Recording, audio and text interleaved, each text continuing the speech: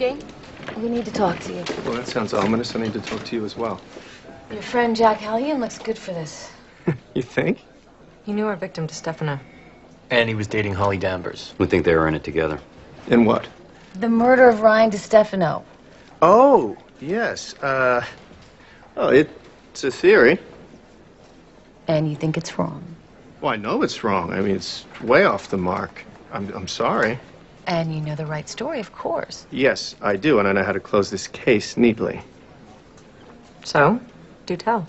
I shall. Uh, but we're in a very tricky situation here. There is a life at stake. And you're going to have to bear with me because what I'm about to say might sound a little crazy. But trust me, it is the only way. He said crazy idea. He said, trust me. Oh, it was a bad sign? Well, listen, I'm just a consultant here. We don't have to do this all together. I mean, I can manage on my own somehow. Wait.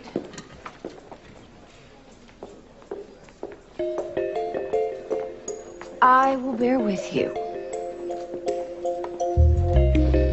Talk.